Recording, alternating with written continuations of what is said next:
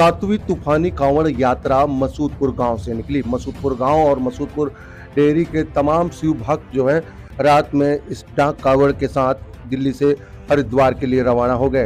तस्वीर हम आपको दिखा रहे हैं किस तरीके से बाबा भोले के जयकारे लग रहे हैं। आपको बता दें, सातवीं तूफानी कांवड़ यात्रा में आपको हर साल अलग अलग लोग जो है, वो जुड़ते जा रहे हैं और इसी वजह से ये संख्या बढ़ती जा रही है। आपको बता दें कि हर बार सावन के महीने में कांवड़ी जल लेकर आते हैं और भगवान शंकर को शिवरात्रि के दिन जल चढ़ाते हैं और उसी कड़ी में आपको बता दें, मसूदपुर गाँव से ये पूरी कांवड़ यात्रा जो है वो निकल रही है। सातवीं तूफानी कांवड़ यात्रा की तस्वीरें हम आपको दिखा रहे हैं। इसमें आपको बता दें, आम आदमी पार्टी के नगर निगम के पूर्व प्रत्याशी अमरजीत सिल्लर के साथ साथ गाँव के तमाम जो लोग हैं वो भी मौजूद रहे, जो लोग इस सातवीं तूफानी कांवड़, डाक कांवड़ यात्रा के लिए निकले हैं। तस्वीरों में देखिए किस तरीके से पूरा गाँव है, एकजुट है और सभी शिव भक्त जो है कांवड़ के लिए निकले हैं और वहाँ से ये डाक कांवड़ जब आएगी तो भगवान शंकर को शिवरात्रि के दिन जल चढ़ाया जाएगा।